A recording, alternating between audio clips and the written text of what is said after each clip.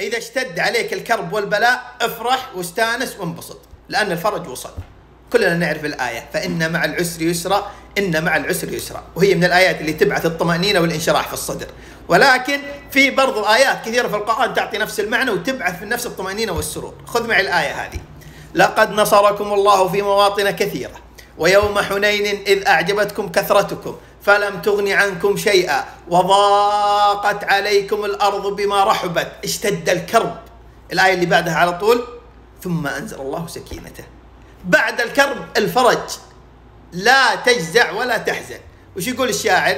إذا ضاقت عليك إذا ألقى الزمان عليك شرا وصار العيش في دنياك مرا فلا تجزع لحالك بل تذكر. فكم أمضيت في الخيرات عمرا وإن ضاقت عليك الأرض يوما وبت تئن من دنياك قهرا. فرب البيت ما أبكاك إلا لتعلم أن بعد العسر يسرا.